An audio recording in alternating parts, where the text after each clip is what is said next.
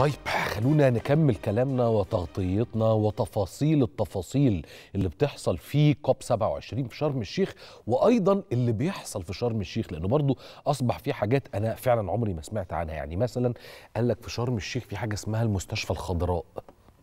فانا ما فهمتش يعني. خلاص أوكي عرفت مستشفى خضراء يعني أكيد المستشفى تبقى صديقة. هو في مستشفى مش صديقة للبيئة؟ ما هو دي برضو حاجات بالنسبة لي لسه إحنا بنتعلم مع بعض شوية حاجات بالمناسبة دي. معانا على التليفون زميلتنا سالي سالم وفدة التلفزيون المصري إلى شرم الشيخ. أما أنا عارف إنها لايف يا جماعة. أنا قلت معانا. أنا قلت معانا على التليفون ولا قلت معانا على التليفون؟ لا مش التليفون يا جماعة. معانا على الهواء مباشرة. آه سالي إزيك؟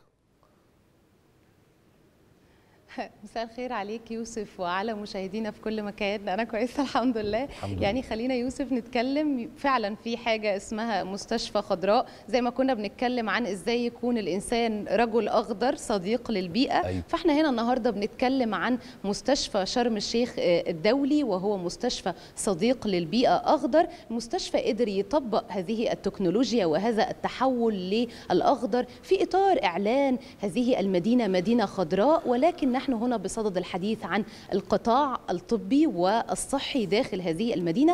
آه، المستشفى المستشفى هو أول مستشفى حصل على الاعتراف الدولي من شبكة المستشفيات العالمية الخضراء في إطار هذا التطبيق في إطار استخدام على سبيل المثال الطاقة الشمسية تفاصيل كتير داخل هذا المستشفى هنستعرضها من خلال ضيفي دكتور عمرو آه، عبد العزيز وهو مستشار المدير التنفيذي داخل هذه المستشفى للهيئة العامة للرعاية الصحية ومنسق عام آه، المستشفيات الخضراء. أنا برحب بسيادتك في البداية على شاشة التلفزيون المصري.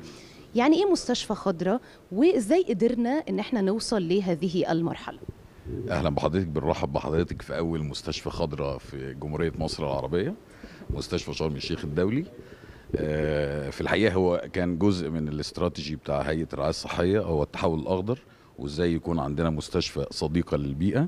وده اللي اشتغلنا عليه من شهور عدة وإحنا النهارده الحمد لله قدرنا نوصل لده ونكون أول مستشفى موجودة في جمهورية مصر العربية ويسعدنا إن يكون ده مستشفى حكومي ويكون لينا الريادة في التحول الأخضر. التحول الأخضر أو المستشفى صديقة للبيئة هي ببساطة هي بن- بنحاول نقلل الانبعاثات الكربونية عن طريق أكتر من مشروع قمنا بيه طاقة شمسية نفايات طبية. والمياه وإزاي نقدر نستغل المياه في الاستزراع؟ وده اللي إحنا عملناه هنا في شرم الشيخ الدولي.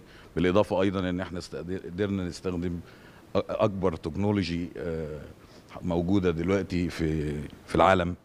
آه، عندنا النهارده زي ما حضرتك عارفه في الكوب 27 أكتر من جنسية موجودة في موجودة معانا في شرم الشيخ.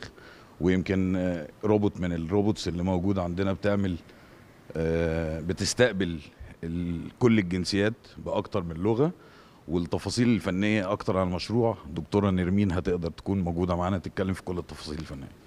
شكرا يا فندم. يعني